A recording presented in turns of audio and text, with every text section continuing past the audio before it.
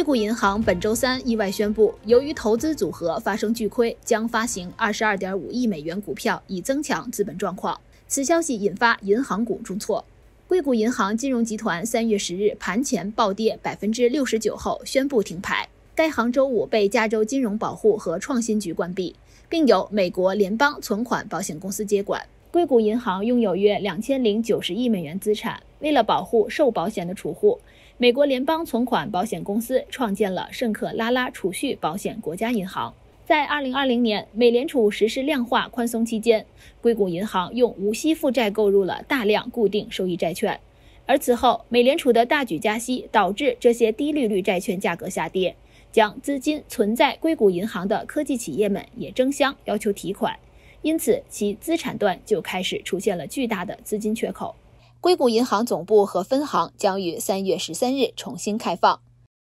俄罗斯三月九日晚对乌克兰各地发动新一轮大规模导弹袭击，打击了乌克兰的民用基础设施和国防工业，并造成至少九名平民遇难。而乌克兰东北部的第二大城哈尔科夫停电、停水或没有暖气可用。基辅表示，这波攻击包含六枚匕首及音速巡弋导弹，是俄方最珍贵的武器之一。俄罗斯国防部称，这次大规模导弹攻击是为了报复上周在俄罗斯布良斯克地区发生的袭击事件。这场袭击有两名平民遇害。莫斯科认为是乌克兰破坏者发起的，乌克兰情报部门则表示其没有参与其中。三月十日，中华人民共和国、沙特阿拉伯王国、伊朗伊斯兰共和国在北京发表三方联合声明。三国宣布，沙特和伊朗达成一份协议，包括同意恢复双方外交关系，在至多两个月内重开双方使馆和代表机构，安排互派大使，并探讨加强双边关系。三国表示愿尽一切努力加强国际地区和平与安全。当天，阿曼、土耳其、黎巴嫩、伊拉克等国均发表声明，对三方联合声明表示欢迎。美国国家安全委员会发言人称，美国欢迎任何结束也门战争和缓和中东紧张局势的努力。美国长期以来一直鼓励沙特和伊朗直接会谈，以缓解紧张局势。联合国秘书长古特雷斯通过发言人发表声明，欢迎伊朗与沙特阿拉伯同意恢复外交关系的决定，并对中国协助相关协商表示感谢。三月十日，十四届全国人大一次会议在北京人民大会堂举行第三次全体会议，习近平全票当选为中华人民共和国主席、中华人民共和国中央军事委员会主席。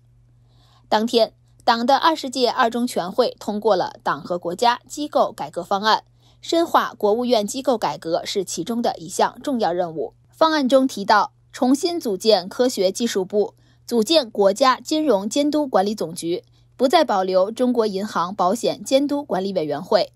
中国证券监督管理委员会调整为国务院直属机构，深化地方金融监管体制改革，统筹推进中国人民银行分支机构改革，完善国有金融资本管理体制，加强金融管理部门工作人员统一规范管理，组建国家数据局，优化农业农村部职责，完善老龄工作体制。中国老龄协会改由民政部代替，完善知识产权管理体制。国家信访局调整为国务院直属机构，精简中央国家机关人员编制。中央国家机关各部门人员编制统一按照百分之五的比例进行精简，收回的编制主要用于加强重点领域和重要工作。通过十三个方面的改革，加强科学技术、金融监管。数据管理、乡村振兴、知识产权、老龄工作等重点领域的机构职责优化和调整，转变政府职能，加快建设法治政府，为全面建设社会主义现代化国家、全面推进中华民族伟大复兴提供有力保障。